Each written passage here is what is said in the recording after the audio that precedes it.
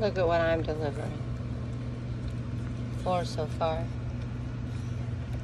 It's the first time in years I had a home birth. Four. And there's more in there.